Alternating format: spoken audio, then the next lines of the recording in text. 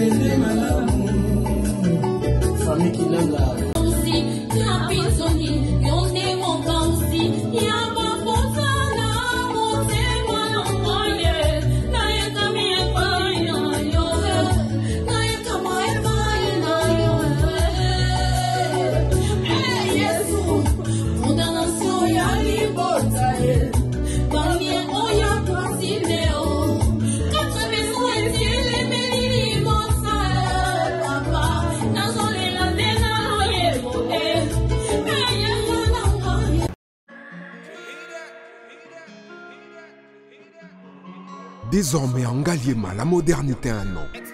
Salle polyvalente Exodus. Exodus. a désormais une référence, une identité. Vous désirez passer vos séjours inoubliables dans un cadre luxueux où l'on vous traite comme un roi Une seule adresse. Salle polyvalente Exodus. Exodus. Exodus vous offre des appartements sur mesure, climatisés, propres et un personnel qualifié pour de fêtes inoubliables, des cérémonies professionnelles et rendre un dernier hommage mérité et digne. Exodus met à votre disposition deux grandes salles respectées. la Belgique, Paris, partout aux Vanessa Erwig. Vanessa a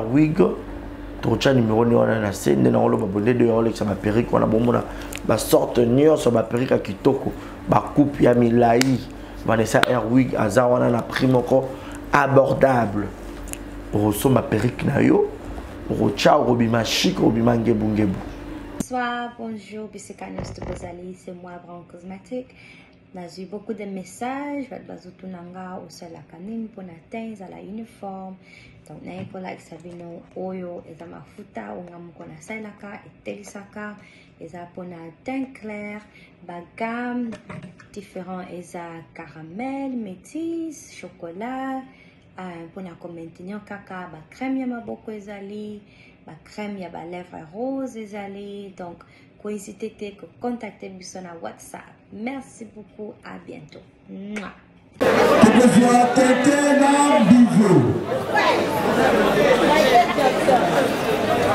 Bonsoir, bonsoir. Oui, allô Non, là, je ne sais pas comment je peux dire aux hommes à ma bêtise, là, yo. Les gens, c'est la carte Oui, quand on a la carte, on a la comprendre, fallait la tête à de non, on Arena. Non, types d'enseignement, Ferrari, la cache, la zanotti. Oui, le colonisa, type semaine à Piton, ça que c'est un farel, monte à diesel. Non, il est avec ça, c'est la la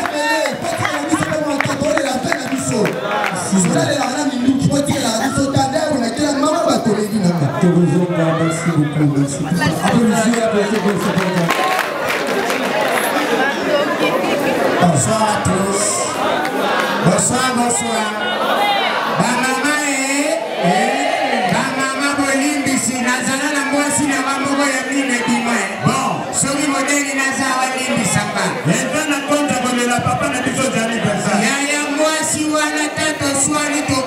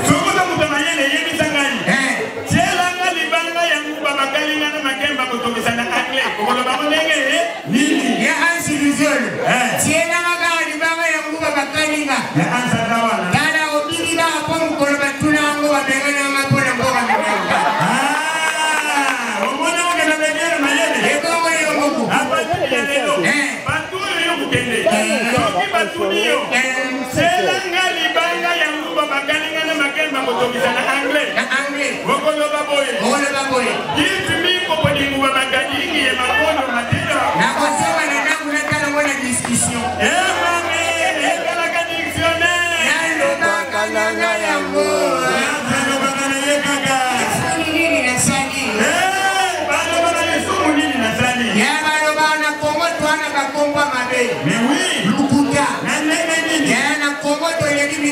na Congo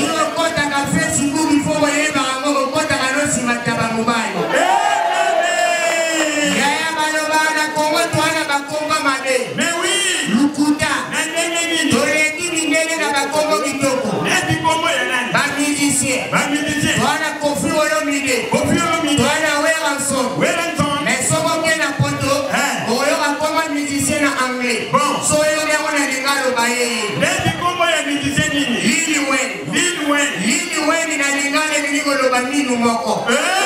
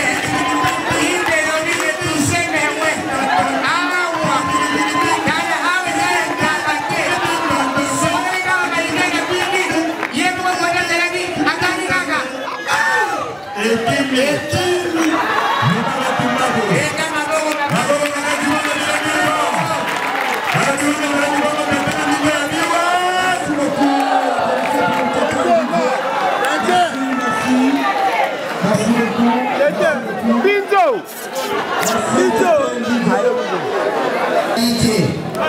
alors tozolela kaka yaya tozolela kulutu parceke biso moko tozala tokobandela kobengaka bakongo na ye te mais oui na se présente je m'appelle koko mosili binza soba ya ndoko mobima mutu na mesala bato ete pamfer mutu na mesala bato ete naza parmi na badizenge bakimaka na telema topanzana panzana na kishasa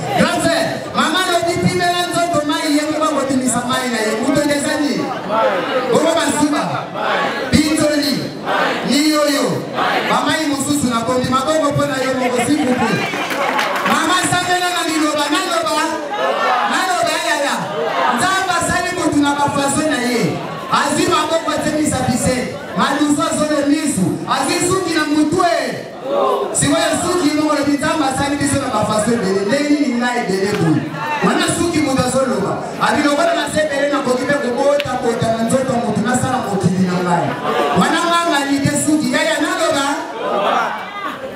suki aye kokota na motu balobi sheko alobi nonga nasala bakongo ebele fona kitao yaya ntango suki aye wana francais babeni makiki suki alobi abo ah se mwa makiki seke naza na bakombo ebele nakita mopanzi awa ye yeah.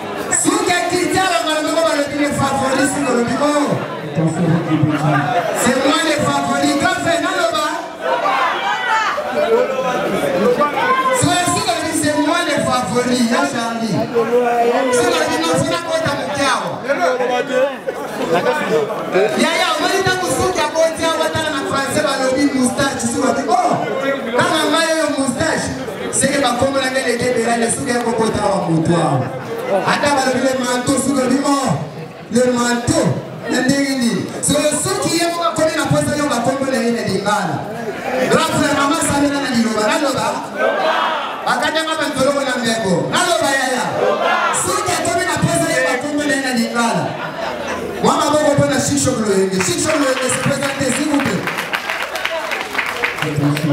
soki tene bakomi na posa yo bakombo na ye na limbala ye kokota motu na tolwa ata na na fransi balobi peluzu soki balobi ya ah? bon oyo dingala te oyo dingala te amasabela na liloba naloba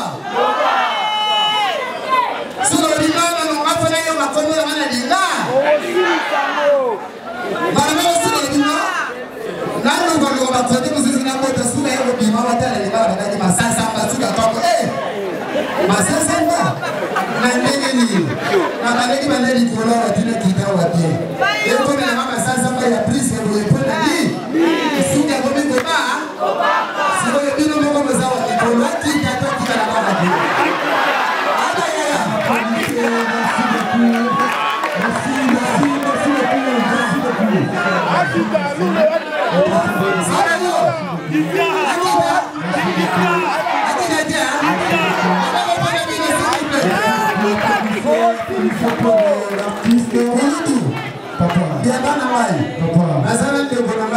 Tell when I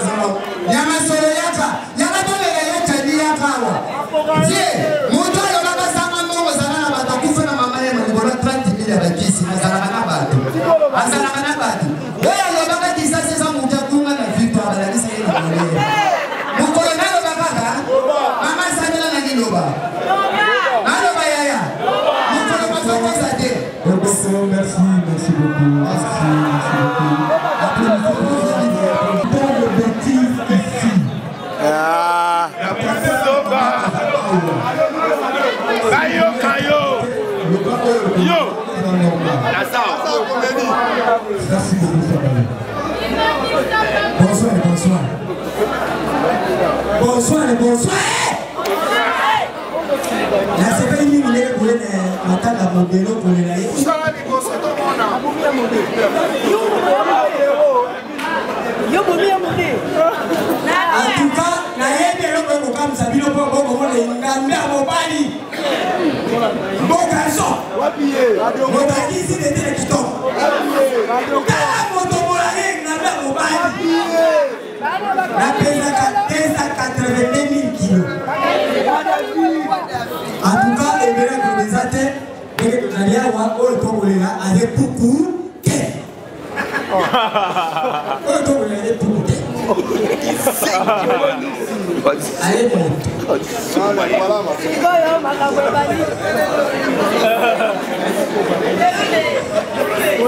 Yeah.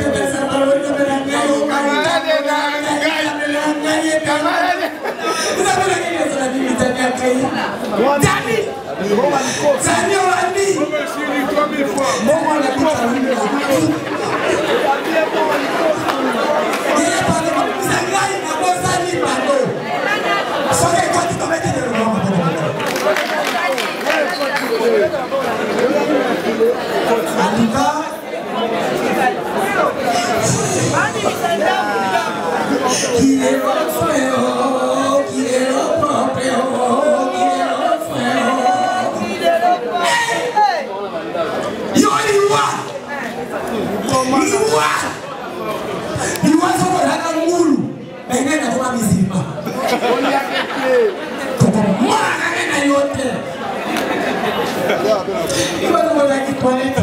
Ninakuja sasa sasa ninakuja kama fua.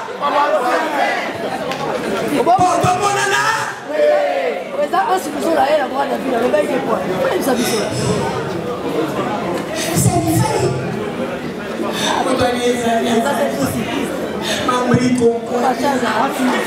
bwa davide oyebiso te oyela bwa davide okobi bandeko na ngai kaka ezali en tout cas bandeko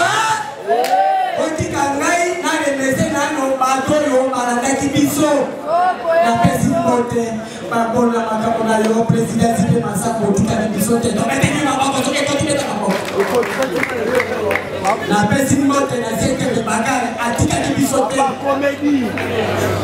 merci beaucoup yaya ebele bayebaka te nzoka zezi ndenge azongaka azongaka na ndenge mibale oh, yaya velule jaye kosenga libanga te atieebayaka liboso bazakanaka na ye nzambe akosala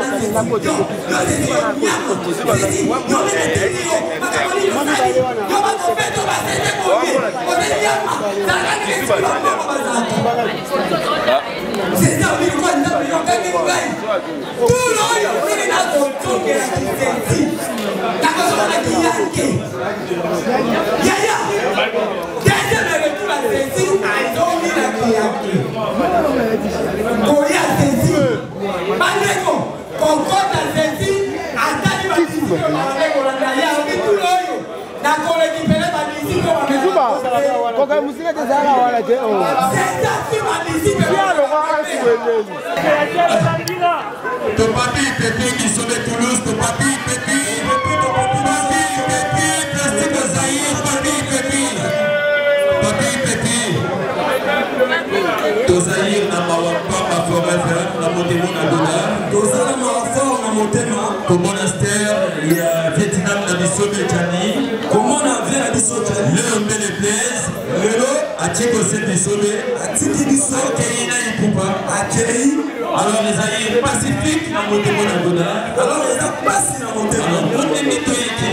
neyu ndenge toye awa ezali popo poto parlementaire mwa dimitri malongo eza poto lokoma oke poto lipoto kompresor ete tozali na kati mili ya kobanda ina na lilenge ya keina poto kompare ete toza na kati ya kolongi ya kei liwaka ezali pacifique liwaka eza pasi emonastere na kati mili ya bibliothèque oza komona na kati ya libele jésus de niance jésus 笨了，姐妹。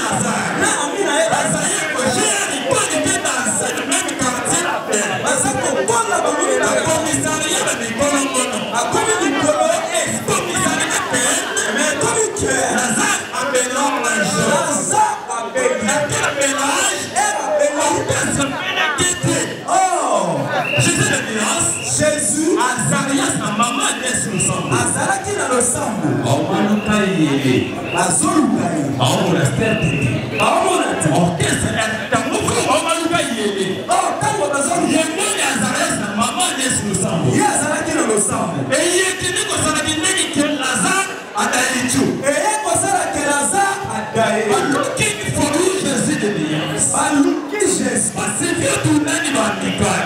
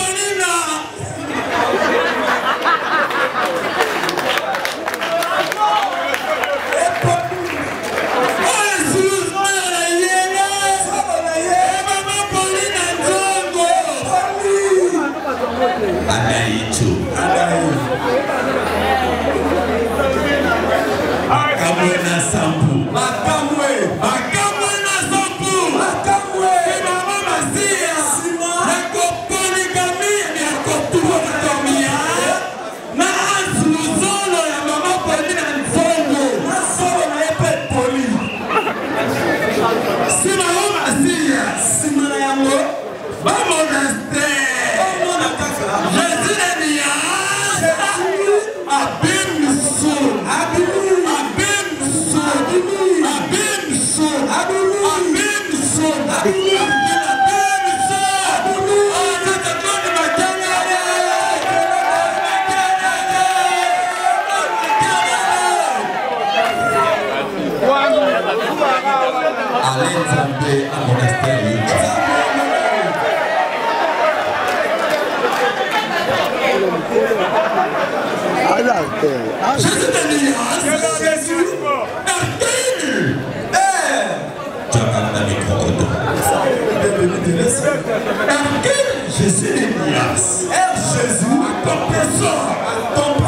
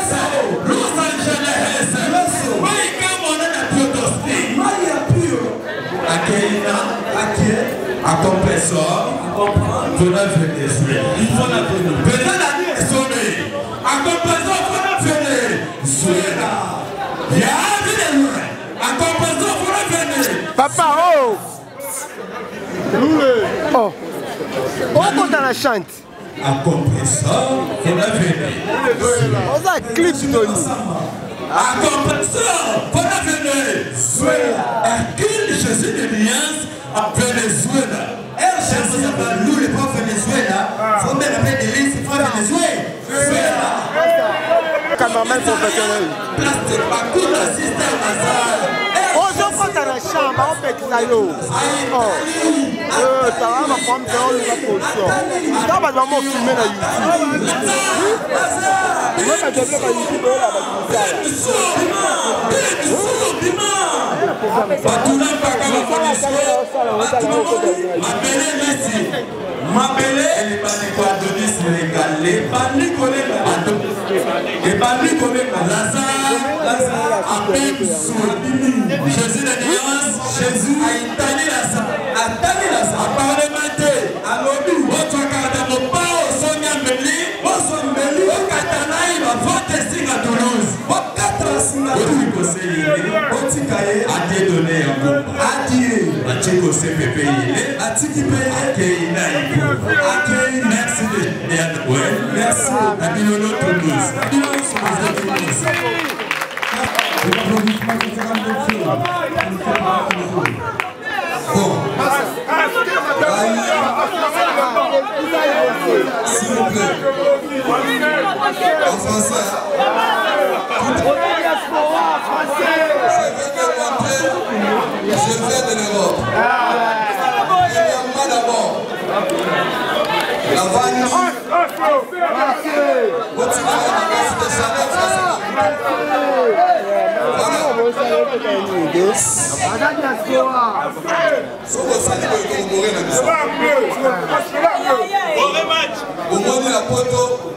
ntango tozalaki kolela etandi nayebi te soki oremarkaki elele yango eza différent na oyo bakutisa oremarke comment ça fait-il omona motu na kinshasa azolela ye moko ya pike krise atelemi ye moko ngai nde wana bino kozomonawa bakanganga trois fois na boti prison likola kolela na mamata na matanga na poto kolela ya poto na ya awa eza deux choses différent na poto atokufeli nani ozoyaka malemi malemi na papi buswar na yo malobeki mana te te kuna moye mimesa te nani akenda matanga ya kolekte na moyo ya mondele namoni moto akufi kinshasa na banga nanga kokanga ekatala batrose matala papa pourquoi tu cries comme ça tu déranges les gens nde moi c'est ça ce qu'on a dit na poto meme leleleli na biso ezalaka nde na kani nasalaki eloko mona bi nazomema bato na po nde naye boye na kozonga mongo te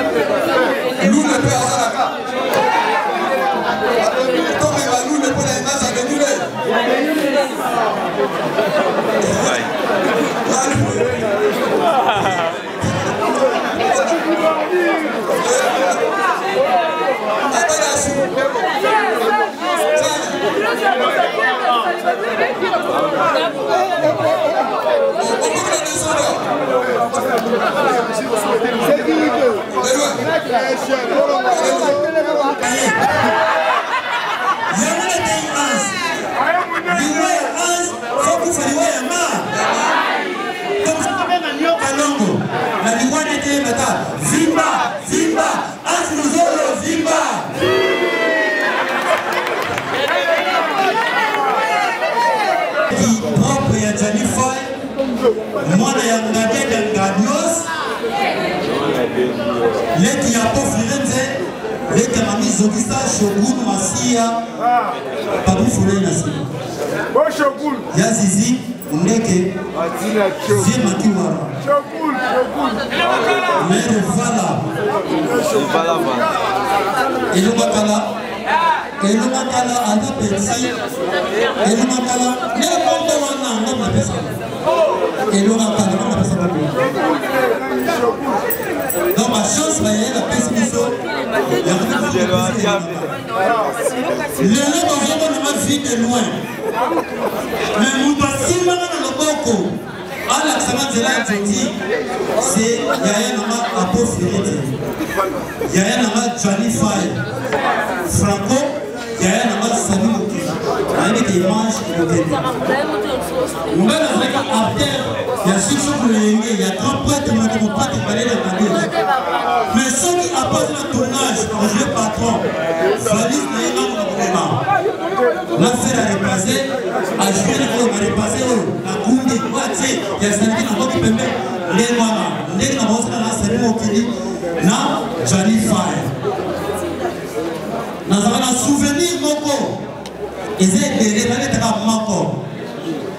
la côté six sont Et puis, six sont cloyengé. Nan nous fait le yenge. Et ça va pas groupe nous être terre. Kuna et lamba, moussala, aspect. Kuna sala et lamba, aspé. Toujours répéter la chute pour la tam soki baprésident nyonso namonango mingi mpo phénomène bayaka vokoleka baartiste eza vinga news septième ali kosa siège dieke die mwende libambe bandeko tala kaka na wuta makala sacrifice likolo makala nayaka mai ya kala mai ya kala morepetio chaque jour sans transport esalaki repetio ye lobisuko repetio le monde fayeba bato la répétition tokei boye elamba kodefa mbula ebeti epoli nazalaki na shekula nga moko boye nazoka matiopanga matiopanga omwana matiopanga nalati matiopanga esukelinga na mokoto na mangamanga labine nalati kitoko nga nazomimona te nalati bien nakokema kolobe destin na frode kombi bakiti na osu biso na cikapa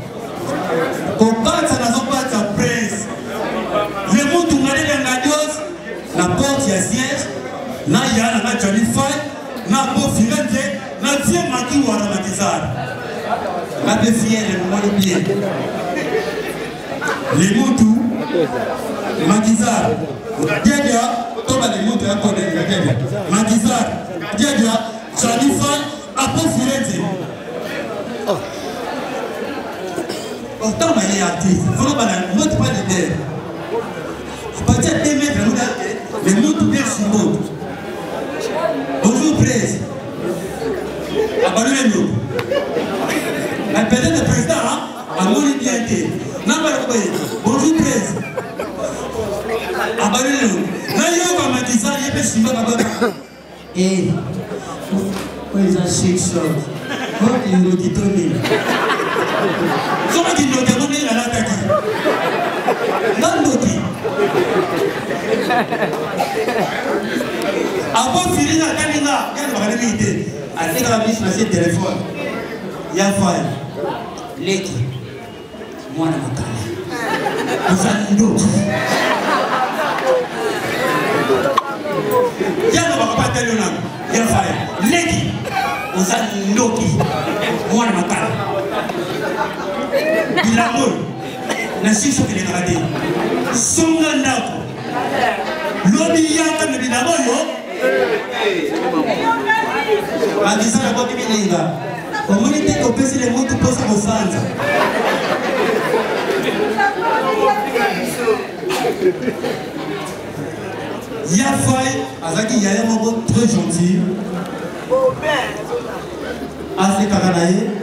me azali na eloko moko suka ah mochef nazongi na mandako ile engati neviloko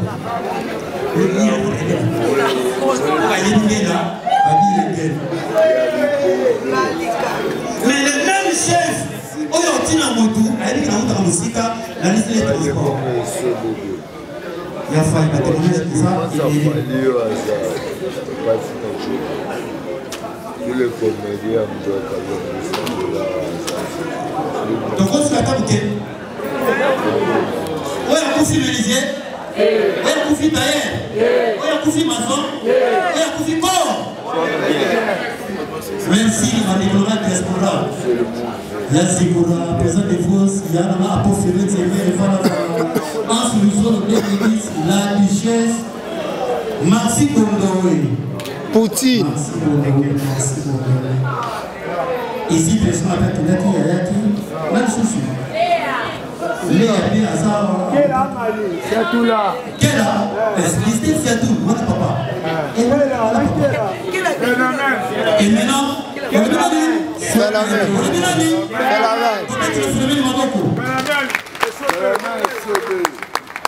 phénomène esote phénomène esote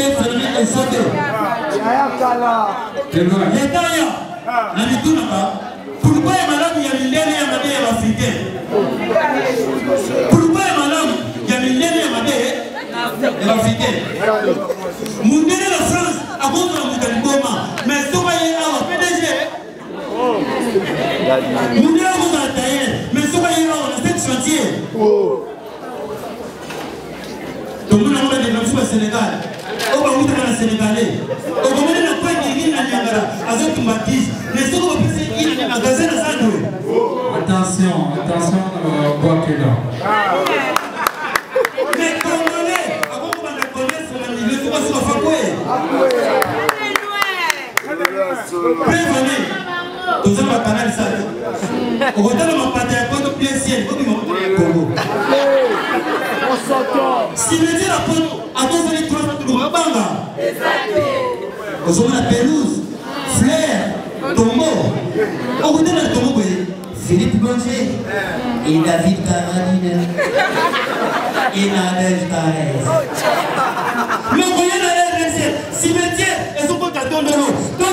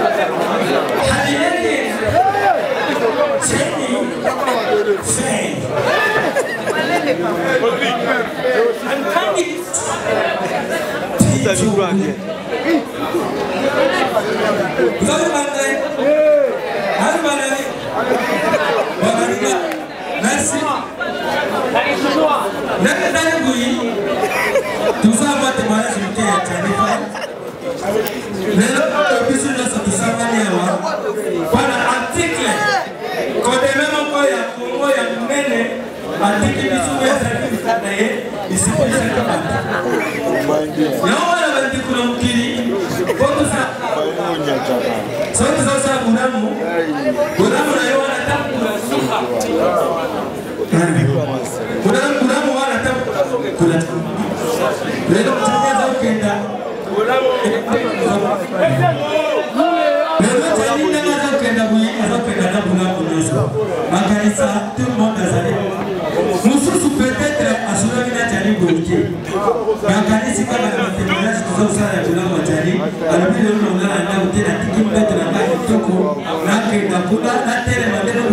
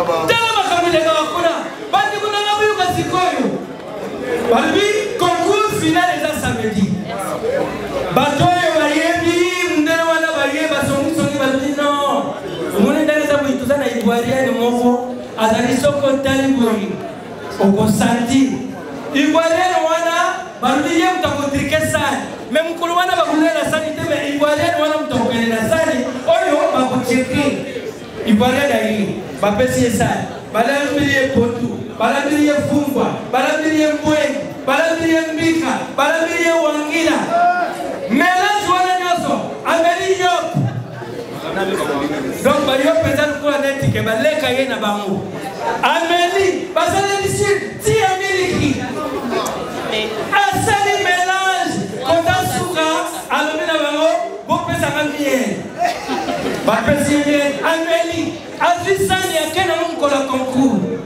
alati ji azwi sani wana ate na sa ji abandi koyembe na sani wana bapapa na modele nyonso bapapa na modele nyonso sikoyo 14 ane na concours ekoki biso wana nyonso totoye tozokumisa detecteur detecteur akoti bakamerune bakoti baivoire bakoti biso mpe congolais detecteur akoti bazwi bakita koso bangwati Joyce anuguti sanyo balela kamuni kametuna beti bana o sanyo yo balela kamoti ha o suite suite à côté ivoirien ye sanyo yo balela kamuni o sanyo yo balela kamopontu akokite akatani kongolai detete bapesi ye sa sanyo yo balela kamuni detete la juisane anuguti tu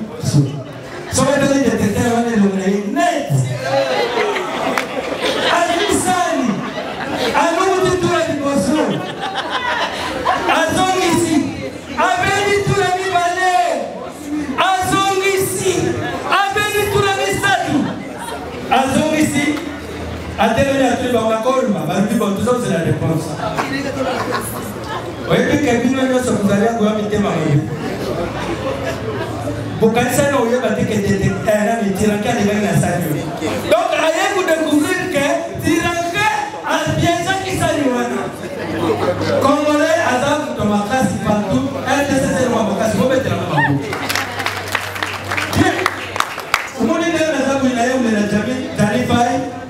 bakese azali moko ya bagénération na biso ntango tozobeta lisolo sikisa molenge nouvelle olenge nganda ya ngadios fe mangwaru ndenge wana oyo azali pere ya famelome esobe donc eh, ve na biso fredi mbalosungo trio mangamba trio mangamba yeluba mangwaru nganda ya mbalosungo basali makambo minene na kati ya mbuku oyo distance na kopusana pene na bango toyekoli kosala yango tokomi kotelema mpe liboso na bino bomi toza kosala mwa makakolo me ngai moko mpe na fami toza na matanga toza epepe me natiki matanga ya fami nalobi na kokenda yango te ata mokie sokulungolanga na fami kulungula Muito obrigado.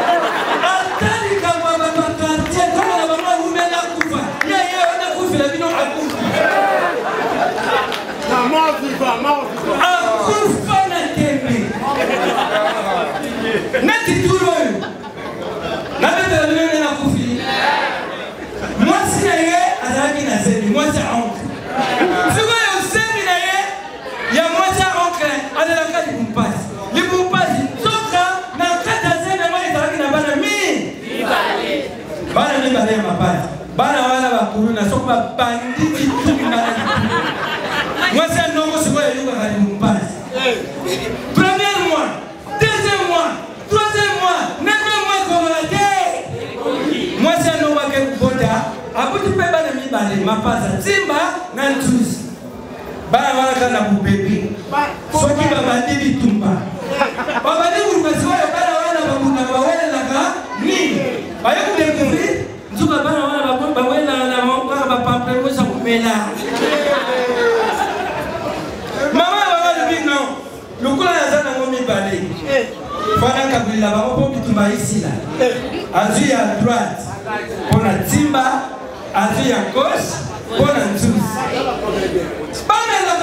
العالي ما تسيب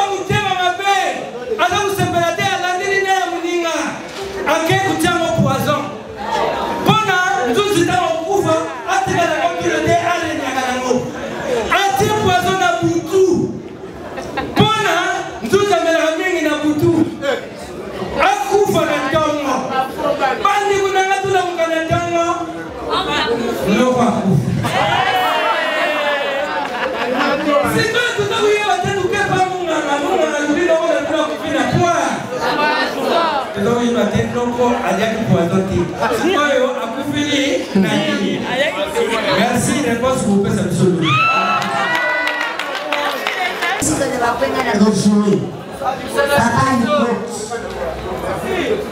Papa Nikot. Papa Nikot ye wana jaya anda papa kulida ba papa papa papa ada neno. Ah mai. Ada ada Ada bapak kuliah dia bapak dia dia bapak bapak yang kubi oh. Masuk ni. Dua pilih bukan ada tu kan siapa yang berbeza itu. Iya nasiya. Pak ini tiba di kurat baca kayu kayu berdoa. Suara. Eh, nasi kubi.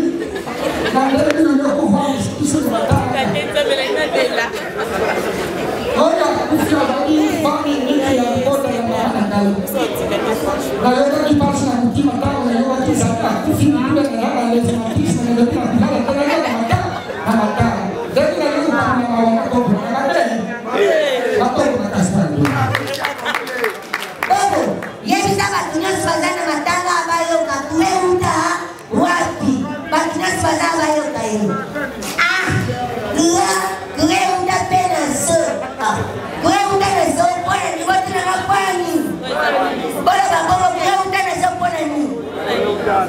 banyana babandaka na zo weunda na zo bato bakatakuwa banyana tunaa banyana bakatakuwa mpona nini ezala ngongo tokei na makeba bapapa pofire te toketala teve totala teve mpona bango ezalaki suka telestasikoekendaka te ekei balamoko bana makunaka kangi banyango bakati moyaongile bakatakuwa banani banyana abokonakasikola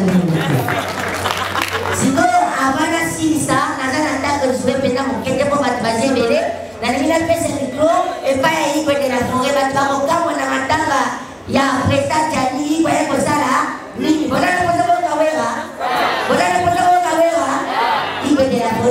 Du nouveau à Brazzaville, le salon de beauté Cams Beauty propose et dispose pour toutes les femmes du Congo-Brazzaville ainsi que de la République démocratique du Congo. La coiffure professionnelle, la pose perruque, l'anglerie, manicure, pédicure, le méca professionnel pour euh, toute manifestation, la soirée ainsi que la journée. Et la vente de perruques, la vente de produits cosmétiques et divers. Le salon de beauté Kams Beauty se situe sur 123 rue Ampère, Bakongo. Le salon de beauté Kams Beauty se situe sur 123 rue Ampère Bakongo. Venez nombreux, vous ne serez jamais indécis. Salon de beauté Camps Beauty. La différence parmi tant d'autres.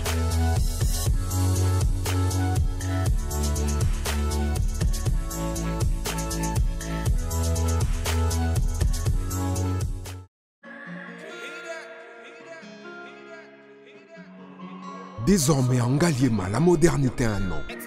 Salle polyvalente Exodus. Exodus.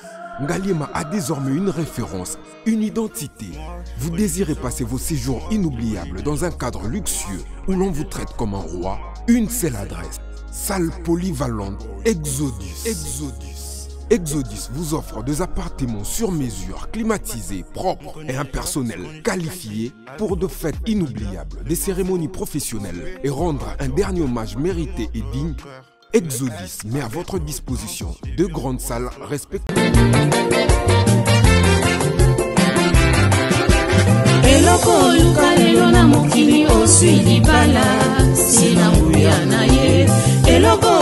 lelo na mokili osi libala se na nguya na ye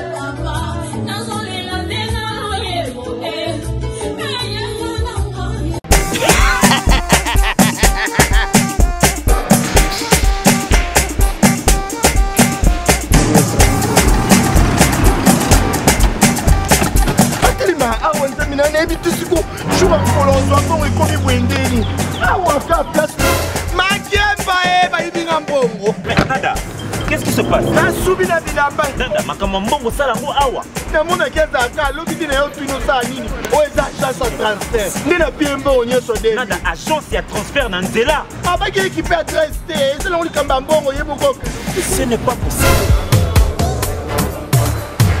nada monene monina fimbo bapesi yo awa zaya e minute opisi otumuna bataaaefo biso baesuka biso mbongo na nzela kamambaa ye otemonenga mbongo ya mwasi ye na mandeko eyoko ya bayakasi bana okatanga na bipai ya sika eye lelo ndenge tozoloba boye agence na bino ya sur fbt ekomi na adrese ya sur sur chef katanga numéro 5 entre njamena na kambo yaya conseil eza gratuit omoni oh, makambo ya bato ya nzela botikela bato ya nzela me makambo ya transfert ya mbongo totikela yango fbt misala nde kazinjo mpe kuna batie tozwi bazwaka kaka onsejane ya mamini tokei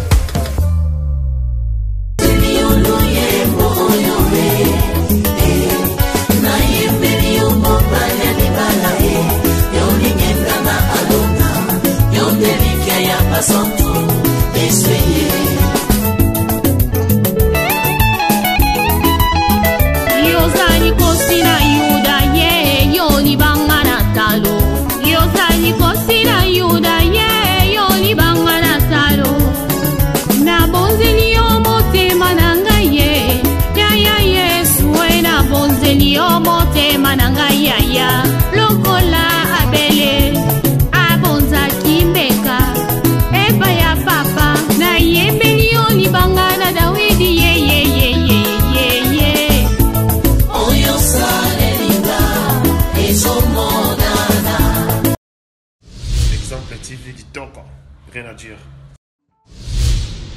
Abonnez-vous massivement sur Exemple TV. Batou Bolinga Nada, encore commis à ça, Péric Boy. Faut vous abonner, Vous abonnez à Exemple TV. C'est Exemple TV. Vous abonnez, à hein. la chaîne YouTube. Euh. Exemple TV qui toque. Hein. Rien à dire. y a des exemple à suivre c'est fois exemple tv hmm. Si vous ben, exemplaire nous exemplaires, vous il ya s'abonner. exemple télévision c'est vraiment un exemple à suivre il n'y a pas de polémique, il n'y a pas de, de conneries, il n'y a pas de. C'est vraiment. Il y a une la lignée, il y a dans la. là.